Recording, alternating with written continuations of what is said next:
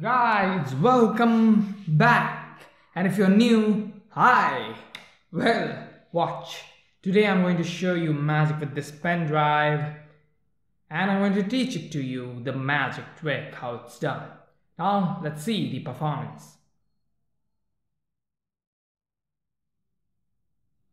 So guys, you need a pen drive, not necessarily a pen drive, anything that is small. I will tell you later anything? Well uh, yeah let's just watch the performance and then i will tell you what it requires. A pen drive now watch i'm going to cup my hands and i'm going to put this pen drive in my hand just like that. Watch. Nothing done yet. See? Just like that. I'm going to put my pen drive right here and watch. Gone. Completely gone. Right?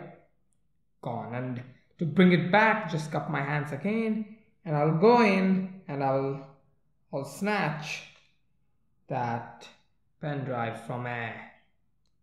Now let's learn how to do it.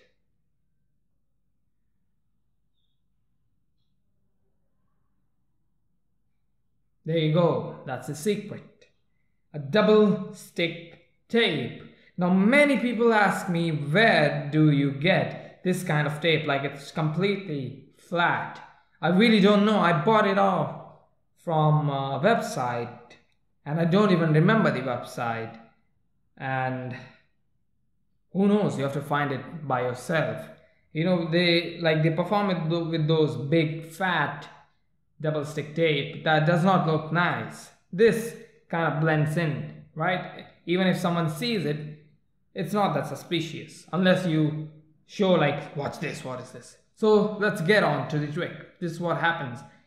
This is what you do. You cup your hands you make a little space and first time you really do put the pen drive in. Because this like this processes image in your spectator's brain yeah it's going in when you show it like this. The second time when you do the action your brain picks it yeah the, the is in but actually it's not. It's behind. Okay so this is what's happening. You tilt your hand a little like this side, you do the action, action but this is what's happening. Trust me, it looks so stupid from behind, like anyone can easily see from behind, but from front it looks beautiful, right? Like this it looks nonsense, but like this it will look beautiful. Just go with this angle and just press it and like the ta-da, do that. And you know, some people go like, ah, nothing here, nothing here. If you want to do it, do it. Uh, it uh, I don't do it. I don't like that. It just looks very weird if I show like this. It looks like, yeah, you're hiding something. Well, that's it, guys. Hope you guys liked it. Be what you are, not what people want you to be. That's it.